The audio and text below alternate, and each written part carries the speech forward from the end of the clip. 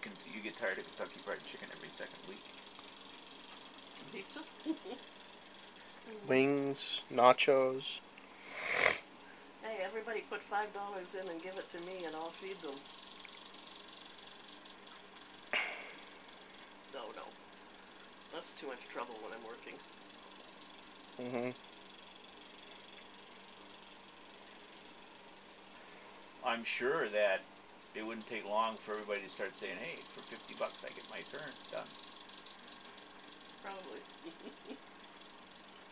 so, what are the other?